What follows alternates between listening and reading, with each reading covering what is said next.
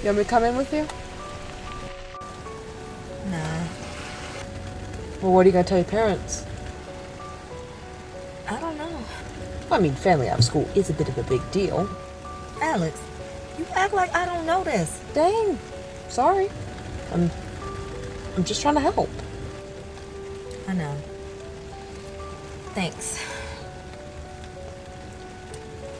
Well, let me go in this house and accept my fate. 吧。